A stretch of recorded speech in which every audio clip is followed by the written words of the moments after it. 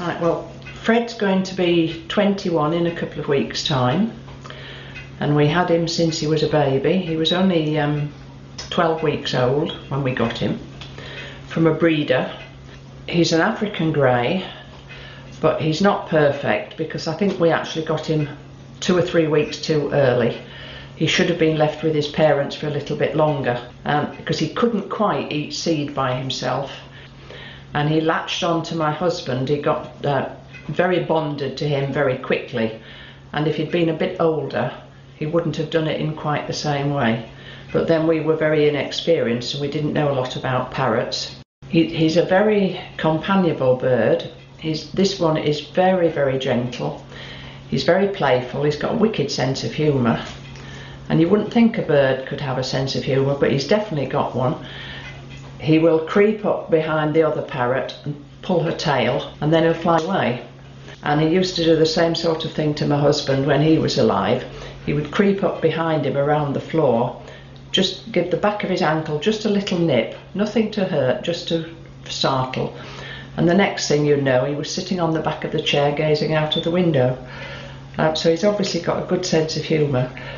He got really upset when George was ill because he was really bonded to George. He wasn't bonded to me at all.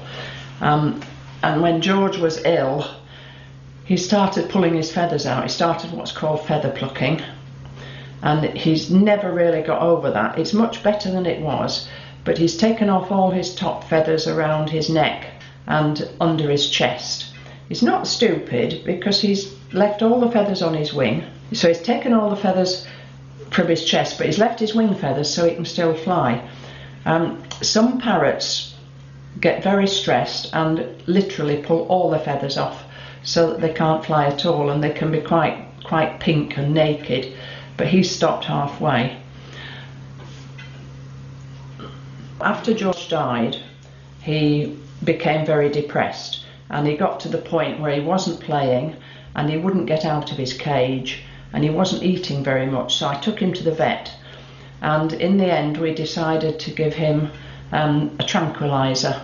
So he was on drops for about six weeks, and I gradually increased the dose and then gradually decreased it again. And that was enough just to jolt him out of it. But it still took him a good six months to become friendly with me. And now he's bonded to me. You're a lovely boy, aren't you? All right? Yeah?